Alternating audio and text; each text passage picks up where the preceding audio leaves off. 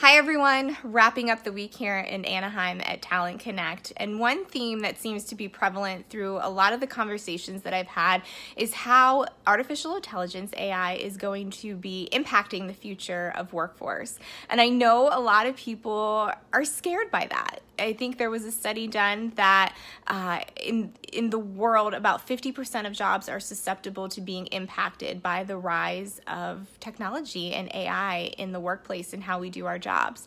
And yes, that's scary. And I listened to a talk this week from Jeff Weiner, the CEO of LinkedIn, who brought up a good point about some of those skills that machines and technology cannot replicate. You know, like empathy, um, developing communication, those soft soft skills, those relationship building, those are the things that are going to become more and more valuable in employees out there in the workforce.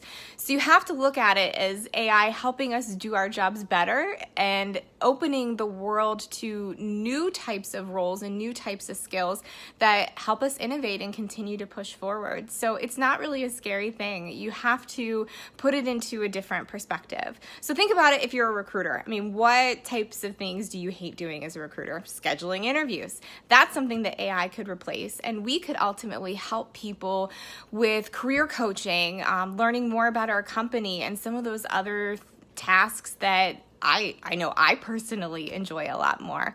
So, just a few thoughts from this week. Uh, it's been a fantastic week. We had the opportunity to check out Disney's California Adventure last night, and I did something out of the norm. I actually got a tattoo. So, if you're curious to see the tattoo that I got, I will post a picture in the comments below. So, check it out.